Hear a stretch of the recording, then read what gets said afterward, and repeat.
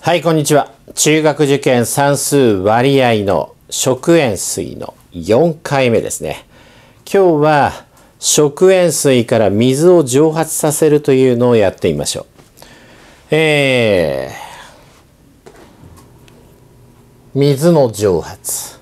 3%の食塩水 800g から水を 200g 蒸発させると何の食塩水になるか。さあ、えー、これビーカー。まず3%の食塩水。800g。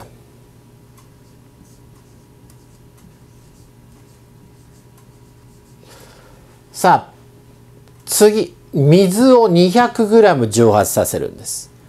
水をここから 200g 蒸発させちゃうんです。ってね。さあそうするとここのビーカーはいらないでビーカーはビーカーになるんだよね。で 800g から 200g 蒸発してますから 600g に減ります。この場合何パーセントの食塩水になるかとね。で、えー、まあ一つね、あのー、まあ説明しておくと食塩水これ当然塩入ってるわけです。ね。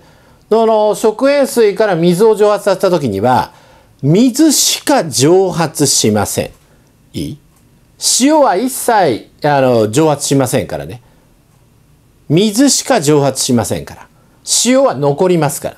ね。それ頭に入れといた上で、さあじゃあ800、3%の食塩水 800g に何 g 塩が入ってるか。さあ 800g の中の3%ですから 800×0.03 の 24g これ塩が溶けてるわけです。でここから 200g 蒸発してもこれ水だけですね。水だけですから塩は入ってませんのでね、えー、食塩水は 600g に減り塩はそのままです。24g 同じ。ですから 600g の中に 24g 塩が溶けてるわけですから 24g を 600g で割ってあげればいい。24割る600でかける100すれば100分率になりますから計算してみると1分の24かけるかける600分の1かけるかける1分の100は。さあ600と100約分して6と16と24で1と44%です。だから3%が4%にちょっと濃くなるね。水だけ出ていくからね。さあじゃあ同じパターンです。できそうだなと思ったらえー、動画ポチッと止めてね。解いてみてください。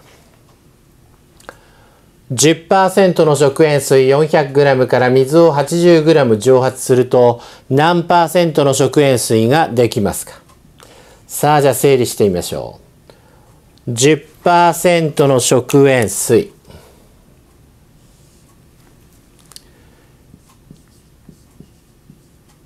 400g から水を 80g 蒸発させる。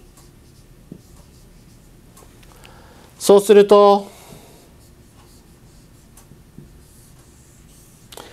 400から 80g 減って320 g になります。さあ何パーセントか。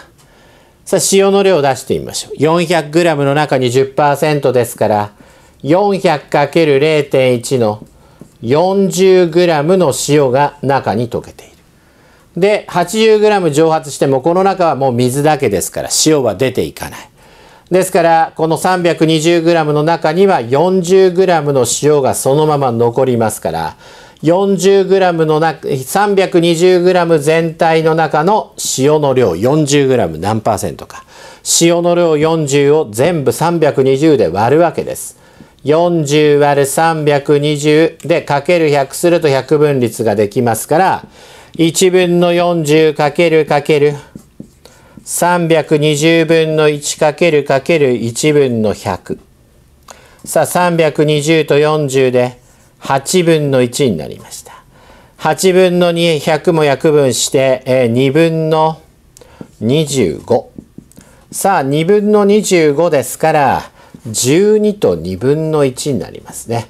だから12.5%の濃度だということです。さあ40割る320でも同じ答えになりますからね。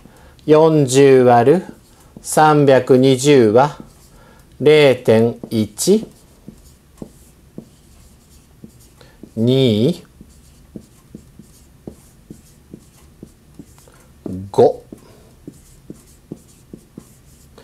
0.125は百分率に直すと12.5%です。さあ、これで食塩水足す食塩水、食塩水足す水、食塩水足す塩、そして食塩水から水を蒸発させる。